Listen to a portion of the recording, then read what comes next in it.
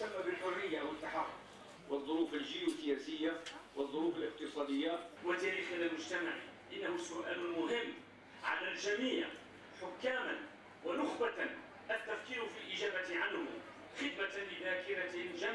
تتويجا للأسبوع الثوري الذي اعتمدته كلية آداب واللغات لهذه السنة للاحتفالية بذكرى 68 لاندلاع الثورة التحريرية. تأتي هذه الندوة اليوم موسومة بأهمية النصوص الأدبية في الحفاظ على الهوية التاريخية لكي تؤكد أن النص الأدبي ليس نصا جماليا فقط بل هو وثيقة قيمة يمكن اعتمادها لكي تقوم بترسيخ الهوية التاريخية ولكي تقوم بترسيخ الهوية الوطنية في الناشئة